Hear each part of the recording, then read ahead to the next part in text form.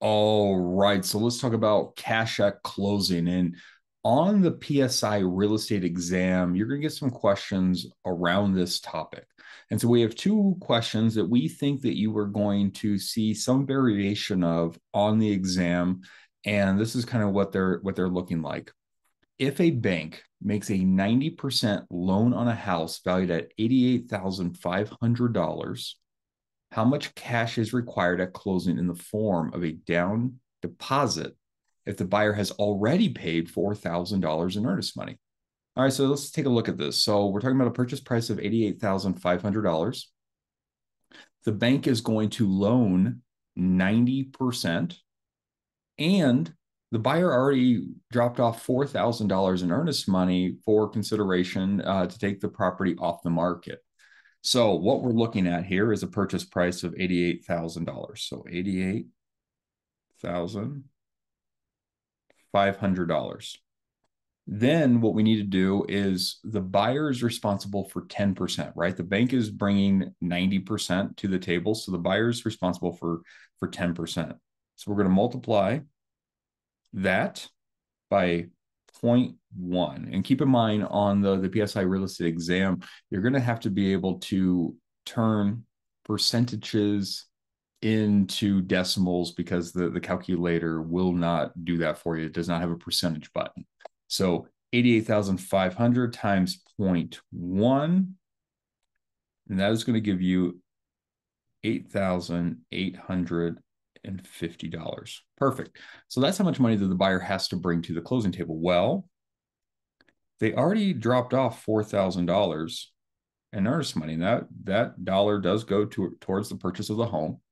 And so what we need to do is we need to take that that and subtract it from the eight thousand eight hundred fifty dollars, and that gives us four thousand eight hundred and fifty dollars.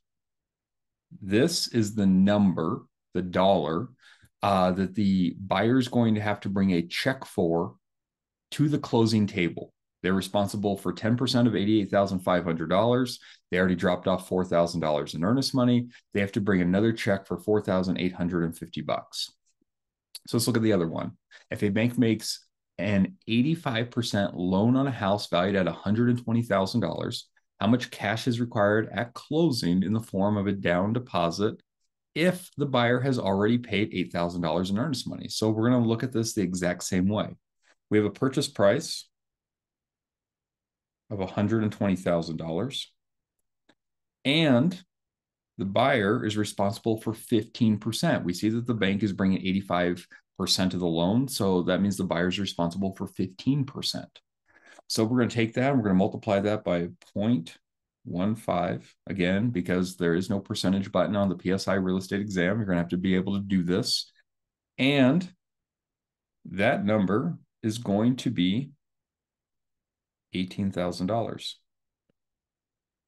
Awesome. So the buyer's responsible for having $18,000 um, at the at the the closing table when they go to purchase this property. Well, they already dropped off a check for $8,000. Remember that earnest money that does go towards the purchase price of the home.